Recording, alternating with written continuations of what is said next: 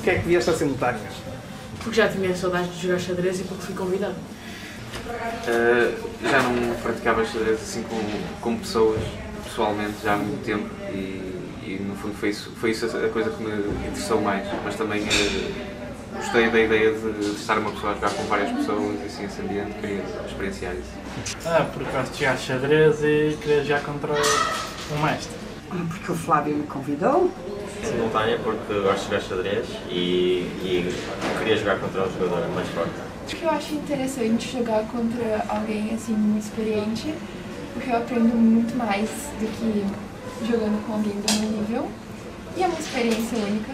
Porque é um sábado de manhã e parecia uma boa forma de passar o tempo. Vim porque gosto de jogar xadrez e o António Freud era amigo do meu pai e decidi jogar para conviver com ele e perceber como é que são os grandes. Para poder jogar xadrez, que já não jogava há algum tempo por causa da, da quarentena, e também para poder jogar contra o Freud. Vim para, para me divertir e para ajudar a divulgar o xadrez. Porque achei que seria uma ideia interessante e que seria uma boa experiência para uh, ganhar. Uh, e o Freud é uma pessoa, um jogador muito bom, acho que seria uma boa experiência. Eu vim para treinar e jogar xadrez. Porque achei interessante e costumo vir a todos, então vim a este. Fui informado que ia haver, que ia haver a simultâneo e como nunca tinha jogado com alguém com um rating tão alto e tão bom, decidi experimentar, a ver, aceitar o desafio. Pronto, vim à simultânea porque, em primeiro lugar, quis, quis conhecer este espaço, a ludoteca, e em segundo lugar porque já há muito tempo conheço o, o mestre internacional António Freud e para mim era um prazer jogar contra ele, tivesse a oportunidade e fico muito grato por isso. Para experimentar jogar com um jogador de, de alto calibre. Sinceramente, o meu amigo contou-me que havia um torneio e eu quis participar. Descreve o local numa palavra. É um local belo e giro. É agradável. É a ludoteca. É bonito.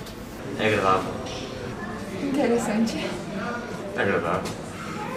É calmo, é, silen é silencioso, tem o ambiente perfeito para jogar xadrez. Eu acho que é acolhedor. Fantástico. Sociável. Tranquilo. Treino. Dinâmico. É o adequado, é fantástico, porque temos aqui a natureza à nossa volta, podemos jogar uma simultânea ao ar livre, eh, ao ar puro, e é o melhor, é basicamente o melhor sítio. Sereno. Isso é difícil. Pode ser interessante. Quais os teus objetivos de xadrez? O objetivo é, é melhorar e também chegar a, a 2000 dela, pelo menos, um dia. É mais por, por gosto. Uh, ensinar. Continuar sempre a evoluir e, uh, e uh, é, é um hobby. Eu gosto de, de jogar xadrez. Acho que principalmente me divertir bastante e melhorar sempre. Talvez chegar a 2000 dia.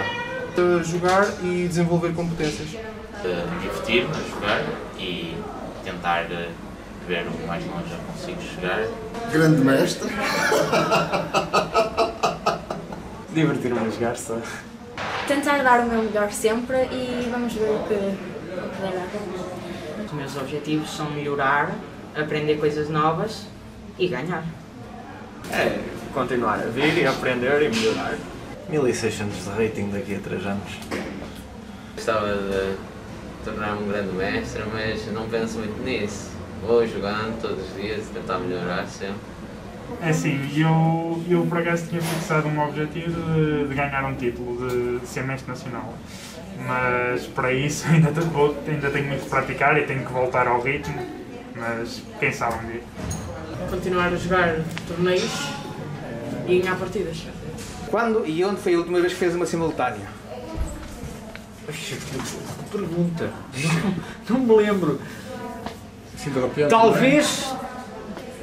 Não, de repente lembro-me que em 2019 ah, ah, eu, eu fazia acampamentos de, de, Fiz 11 acampamentos em, em Espanha.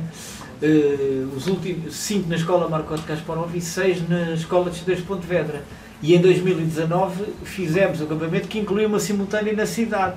Cidade? Portanto, a ideia de certeza é essa. Depois veio a pandemia. Qual a razão de criar uma secção de xadrez? Olha, é, é, é muito fácil. É, é um pedido, no fundo, não é quase nem é uma iniciativa nossa, é uma iniciativa do público. Era um pedido constante nestes dois anos que levámos a Ludoteca da Estufa. Os utentes questionavam-nos constantemente que deveríamos ter e, e seria muito bom termos uma academia de xadrez. Felizmente, com a ajuda do Flávio e com a responsabilidade do Flávio, podemos fazer isso. E eu não quero deixar, obviamente, acho que é um bom momento este, é um momento alto deste percurso que temos a, caminhar, a fazer pela, pela frente da Academia de Xadrez, ter aqui a presença de alguém tão ilustre. Não é? Muito obrigado mais uma vez por ter, por ter aceito. Com certeza que ajuda, ajudará imenso esta Academia a nascer e a crescer e a, e, e a aprender também junto com os seus utentes e com os seus atletas. Não é? Eu usei uma palavra para descrever o local da simultânea. O local da simultânea. Uma palavra? Uma palavra. Fantástico. Perspectivas tem para a Academia de Xadrez?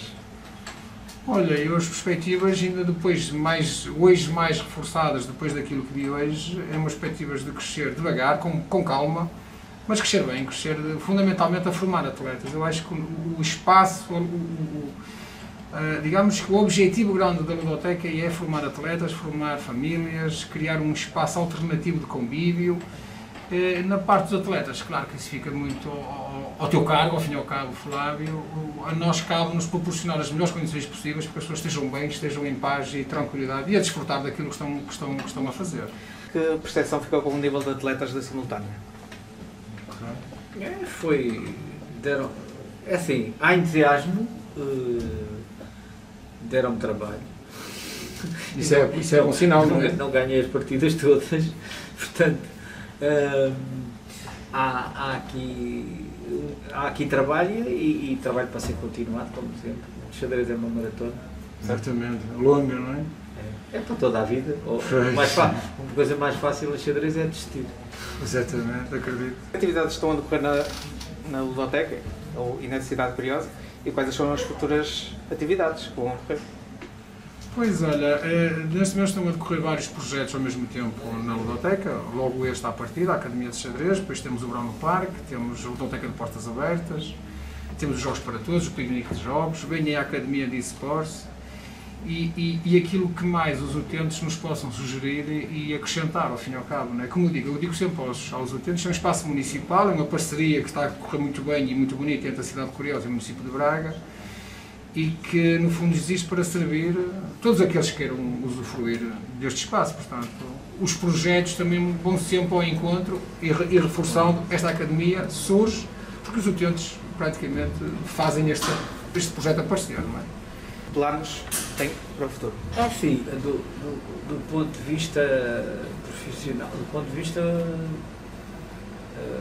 profissional, eu, pronto, continuo a ser profissional de xadrez, uh, continuo a jogar pela Academia de Xadrez de Gaia, mas agora dedicada muito mais à formação uh, e, e continuar a, a fazer isso por onde por onde vai, vai surgindo oportunidades. E, e, e, uma das coisas que me agrada muito, divulgar as várias facetas do xadrez e, e, e ligar o xadrez às outras atividades da vida. Eu, eu gosto muito do livro do Kasparov, A Vida Imita o Xadrez, que tem a ver com uma coisa que toca a, nossa, a vida de todos nós, que é a tomada de decisões. Exatamente. Mas agora aproveitava, se me permitisse. Uh, fazer, uma, fazer uma pergunta ao António, uh, uh, sendo um xadrez um jogo, uma modalidade tão antiga, uh, porquê é que acha que ele ainda hoje é aquilo que é? Como é que ele aguenta tanto tempo? Pela, pela, pela história, pela, pela riqueza das, das possibilidades que dá, não é? E, e, e basta pensar na posição inicial das peças para pensar que está ali a sociedade toda o povo à frente, tudo a par, os castelos, os animais, a igreja ao lado do poder e o par real. Já viram bem que isto a gente pode andar o tempo que quiser andar para trás. E, e, e, e mantém-se atual, não é? Mantém-se e vai-se continuar a manter, não é? Ou seja, isso quer dizer que temos xadrez para mais uns bons anos? Eu estou convicto que sim, seguramente. Isso garantidamente. Muito obrigado a todos por terem vindo e António, terem- muito obrigado por ter vindo. Obrigado. Muito obrigado Também foi um prazer estar aqui com vocês. Está a ser um prazer ter aqui com vocês. Portanto, obrigado também. Tchau.